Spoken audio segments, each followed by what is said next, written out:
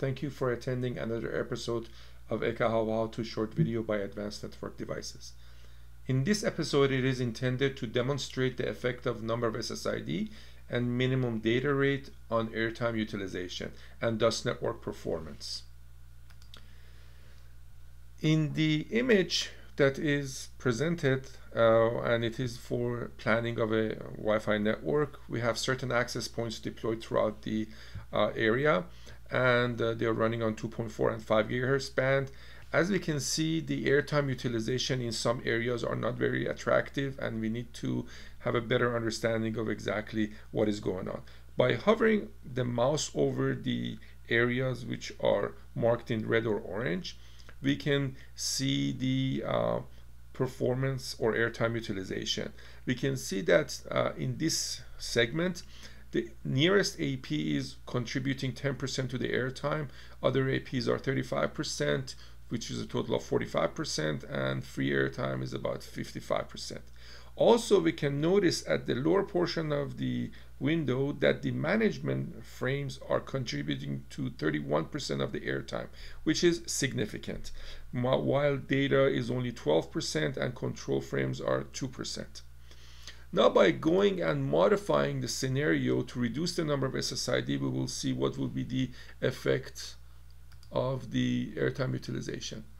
By going to network configuration, we can reduce the number of SSIDs per radio and the software will visualize exactly what will happen with reducing the number of SSIDs and we can see it has changed from red to or from orange to green.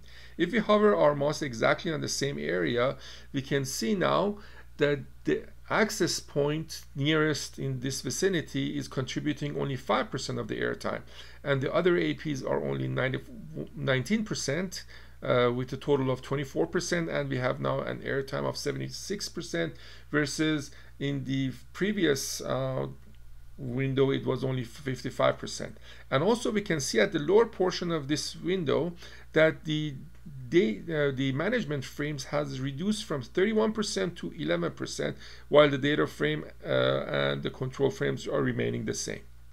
Let's see if we can improve this even further.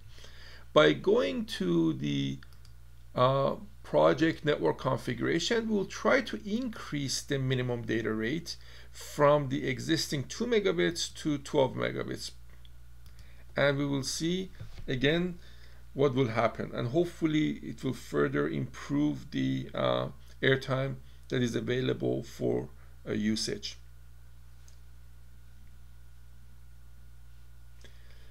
Once we hover our mouse over the um, area, exact same area, we can see now the AP is only now uh, taking 3% of the air time and other APs are 13% and um, uh, then the total uh, utilization of the airtime is 16% thus we have 84% free airtime furthermore if we go down to the lower portion of the window we can see the management frame have, has reduced from 11% to 2% control and data frames are remaining the same so we can see by changing the number of or reducing the number of SSIDs and increasing the data rate, we have significantly improved the performance of the network.